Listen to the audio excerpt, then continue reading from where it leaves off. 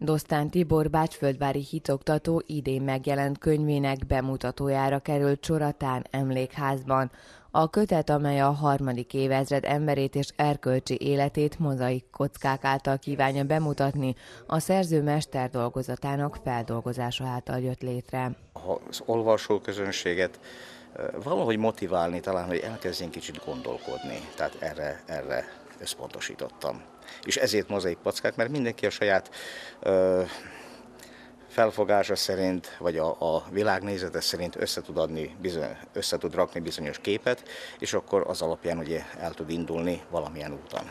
A könyvben szó esik a családról, a nevelésről és az emberi értékrendről is. Egy elkölcsi válságban, amikor az ember egy teljesen egy új környezettel, a virtuális világgal és a szabadság, hát hogy fogalmazzak, végtelenség kiterjesztett szabadság eszmével találkozik.